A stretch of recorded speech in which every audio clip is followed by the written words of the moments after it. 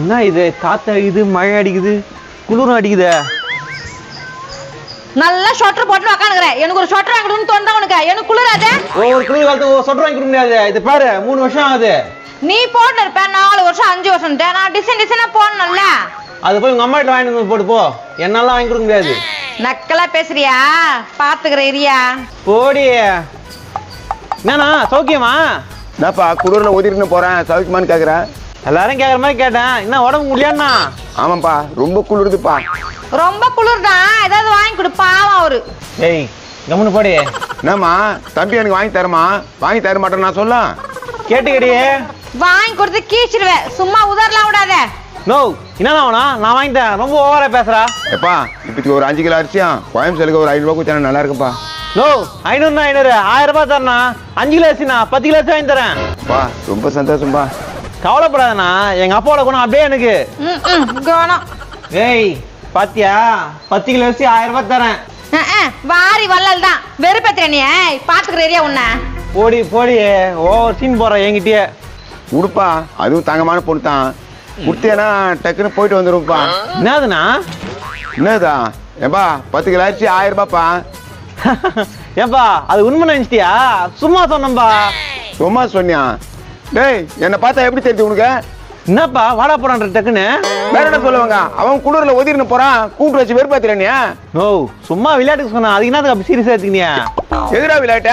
எது விளையாட்ட? பத்து கிலோ அரிசி ஆயிரம் ரூபாய் சும்மாவா? என்ன சீன ஒரு சண்டை? நோ நானா? ஒண்ணும் இல்ல கோபால. சின்ன ஒரு விஷயம் ஆயிடுச்சு அது கத்தின்னு கிடக்குறாரு. தம்பியா நீயே நாயத்து கேளு.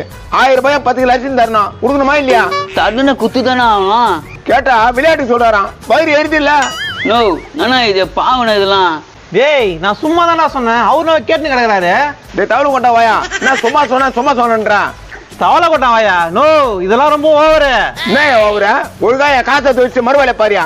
நோ ஊர்ல யாருன்னா பார்த்தா தப்புன்னு வச்சுக்க போனா காசு குத்து அமைச்சிருந்தான் டேய் நான் சும்மா தானடா சொன்னேன். அதுக்கு காசு கொடுக்க முடியும்? என்ன சும்மா சொன்னா? என்னடா சும்மா சொன்னா?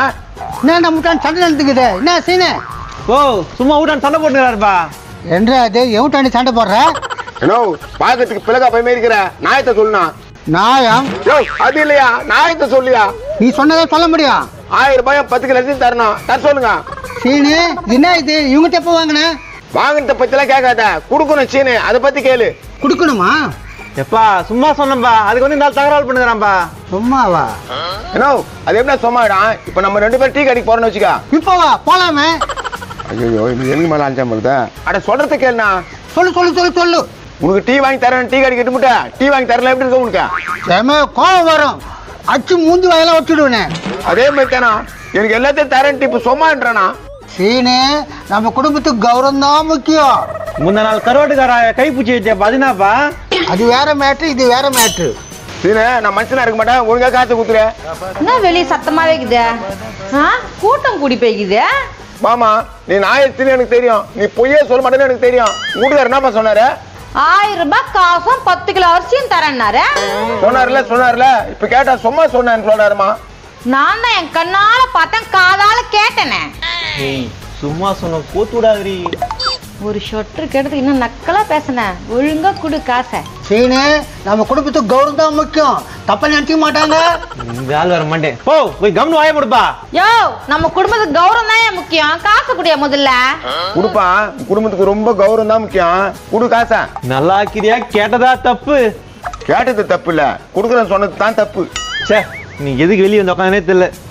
இந்தா ஆயிரத்தி ஐநூறுவா இருக்குது பார். ஆயிரத்தி ஐநூறு ரூபாய் தான் இருக்குதா ஐநூறு ரூபாய் கடன் தரணும். எனக்கு இருந்தாலும் கொடுத்துடணும். அட பாவி நான் கடன்காரனா? பாப்பா டீ வாங்கி தரேன். சீனு ஐநூறு ரூபாய் கொடுத்துடணும். நம்ம குடும்பத்துக்கு கௌரவம் தான் முக்கியம். போச்சா? இன்னும் ஆட்டம் போட்ட? ச்சே அசிங்கப்பட்டனே. நோ என்ன நல்லா இருக்குதுன்னு கேட்க மாட்டியா? இன்னொரு வாட்டியா? போடா. நான் ஊத்தாரு எக்கோ நீ யாராச்சும் கேளாம். ஐயோ ஆள் விடுற சாமி. யாராச்சும் கேளுங்க அப்பா நல்லா இருக்கிறாங்க